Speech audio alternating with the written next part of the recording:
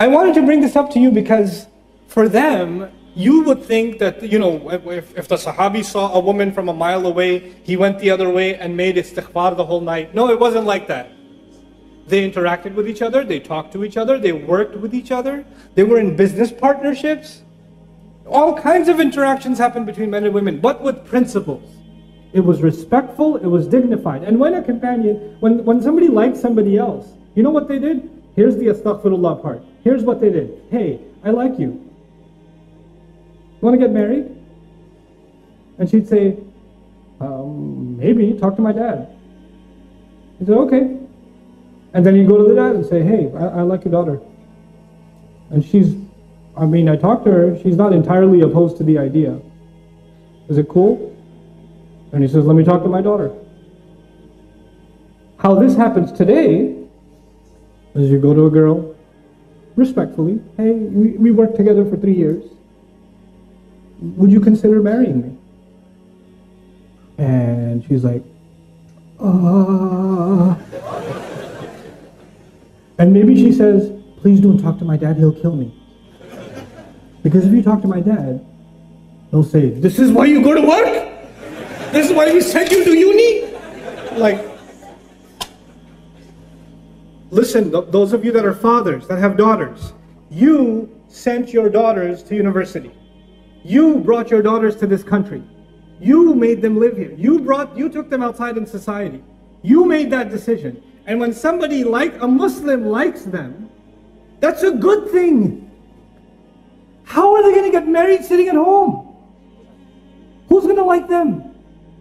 So when somebody approaches them in a respectful way, you should not say, "Oh my God, the day has come, astaghfirullah." You know, ye din bhi dekhne the, oh toba toba.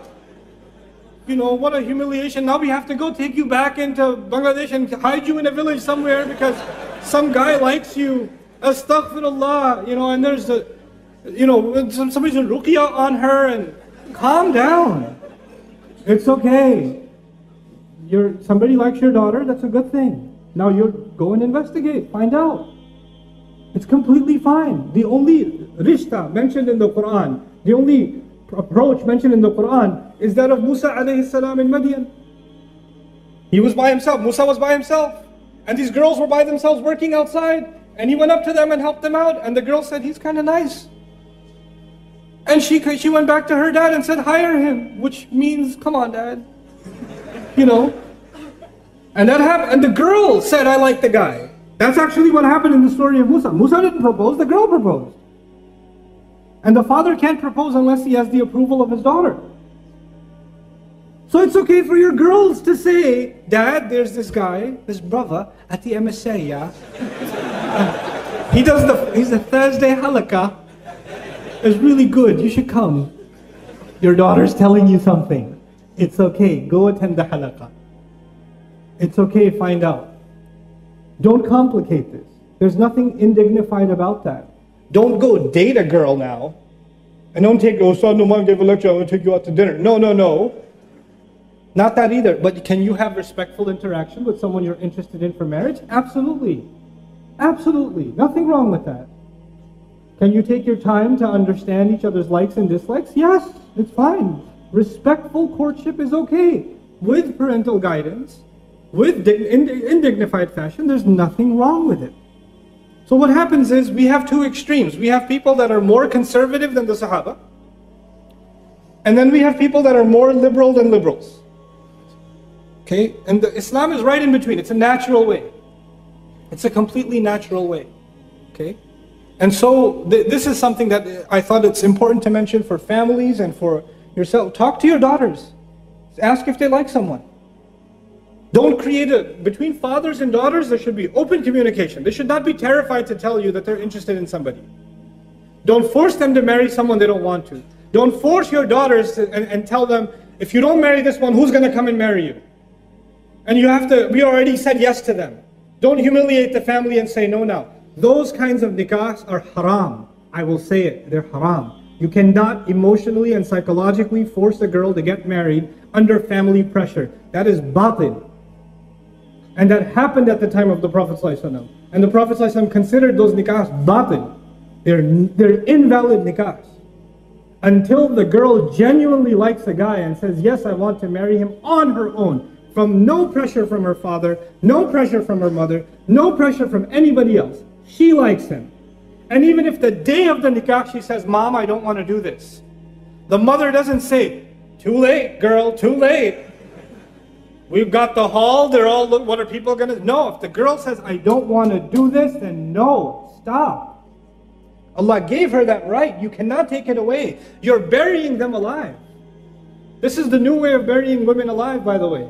Back then, they used to take the baby girl and bury her right then. Now we bury them at the day of the nikah. This is what we do. This needs to stop. Let them marry who they want. If they're a dignified Muslim. And because now you're living in a different society, you won't find someone from the same village. It's okay. You know, Musa alayhi salam is an Arab. Musa is an Arab. Or, or, or actually not an Arab, he's from Israelite. And he married an Arab. He went and married in Madian, didn't he? So many Arabs ah, we only marry Arab. Really? Musa was actually from Israel. What's up with that? You know? It's all good. You, so it's, it's, it's a time now, it's a strange time that we live in. And actually, the only thing that can save us is the basic principles of our deen. And getting, facilitate, making the path to marriage easy is actually one of the greatest battles against shaitan. When we make the path to marriage difficult, when you have 28, 30, 30, I'm not going to do other questions, forget it. Let's just talk about this. What am I going to do? We're going to have 35 year old boys not married. You, what do you think? They were doing tahajjud for 35 years? What planet do you live on? They didn't do anything haram. No evil thoughts went in their head. They didn't go to university. They didn't go to work. 28, 29 year olds not being married? This is ridiculous. It's absolutely absurd. It's unacceptable. It's unacceptable. And we, we create standards that don't exist in our, in our religion and don't make any sense. You have three daughters, four daughters. Somebody proposed for the younger daughter, and no proposal came for the older daughter. No, no, no, no, no. We go in order. Who said you go in order? Which Sharia? If there's a good blessing that came to your home for whichever age, why would you deny it? What will people say? What will Allah say when you explain yourself to Him and say, I deprived my daughter of a good nikah because it wasn't in order? What will you say to Allah? You tell me that. What are you going to do? Ridiculous. This nonsense needs to stop. Marriage needs to be made easy. And the guy's side, because Hindu tradition says the guy is the gift. So the girl's side has to give him gifts. Islam came and said the man has to give what? Mahar. The man has to give a gift. The woman is a gift to the family. And now we do in Pakistan, India, Bangladesh, Southeast Asia, no, no, no. We don't want jahez. We don't want gifts from the girl's side, but there should be something. At least a fridge. You know?